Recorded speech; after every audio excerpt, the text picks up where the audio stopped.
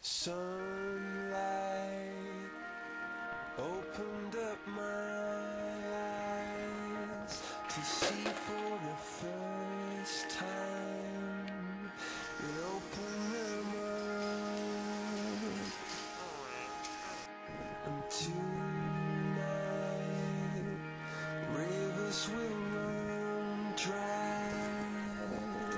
For the first time,